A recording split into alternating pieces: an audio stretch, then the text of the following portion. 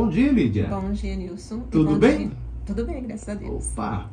E como é que tá a caminhada aí, hein? É, Estamos na luta. é, é a primeira vez que você disputa ou não? É a primeira vez que eu disputo, mas não foi a partir deste ano que eu tive É. o interesse, né? Já tinha tido o interesse Certo. anterior, mas estava aguardando assim, um momento adequado para estar disputando. Ah, Sim. Você acredita que para ser um candidato tem que estar aí já com né, uma, é, um certo suporte Sim, sim. né, Uhum. para disputar, né? Isso. Um certo é, preparo. Né? Exatamente. Ô, ô Nair, é, Elídia, perdão, Elídia, você é de qual bairro? Eu moro no Planalto do Sol 2. Planalto do Sol 2. E Isso. você veio com esse nome de campanha mesmo, Elídia de Andrade? Elídia Paixão de Andrade. Ah, olha Isso. aí. E o que, que você faz da vida? Você atua em qual área, profissionalmente falando? Então, neste ano eu Hum. estou é, com trabalho voluntário, né? Sim. Até o ano passado eu trabalhava como funcionária pública, né, na rede municipal. E aí o ano passado eu decidi, né, dar uma pausa para me dar uma ressignificada.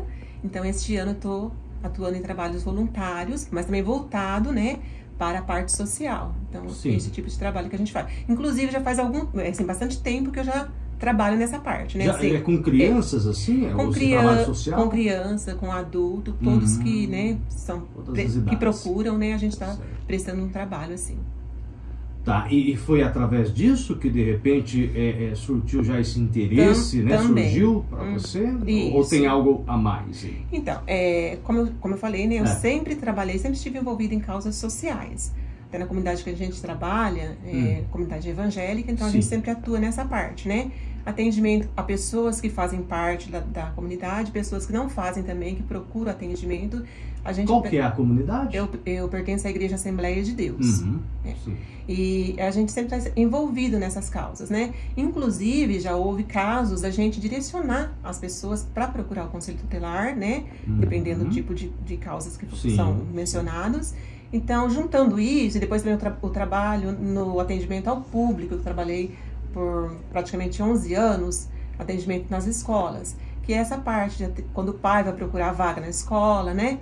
Então, esse primeiro atendimento, quem fazia é a nossa função, que é agente de administração escolar. Então, Fazia o acolhimento. lá. Exatamente, o primeiro acolhimento, né? A triagem, é, a questão de vagas, é a nossa função que fazia. Então, juntando tudo, é, vem, né? A gente vai criando aquela habilidade para estar ajudando e o interesse em estar assim, participando de uma forma mais direta.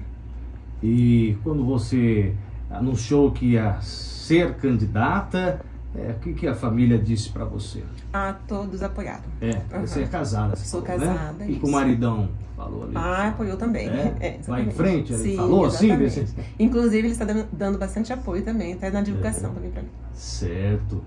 Bom, se amanhã, no no dia primeiro, você for eleita, qual será o seu primeiro passo dentro do Conselho Tutelar Barbarense? Então, é, A posse é dia 10 de janeiro, né? Isso. A exclusividade, né, é Hum. defender os direitos da criança, como todo mundo já sabe, né? Sim. É cumprir o estatuto.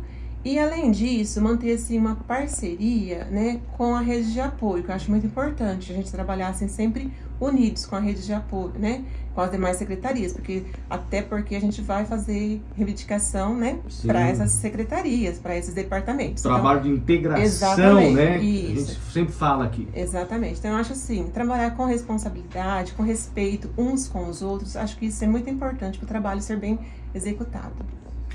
Perfeito. Bom, convida aí, né? Elídia Paixão de Andrade, né? O pessoal ir até as urnas no centro né, de votação para poder fazer aí a sua democracia. E agora é com você suas considerações finais. Tá bom. Então, assim, quero agradecer, tá, pelo espaço, pela oportunidade Imagina. e estar, assim, pedindo à população que compareça a um ponto de votação, né? É, já está disponível é, vários, por vários meios, né, os locais de votação. É, compareça, exerça a cidadania, seja é, predominante no- na escolha do seu candidato, né? E se caso não tiver ainda um candidato definido, vote 29, Elídia Paixão de Andrade.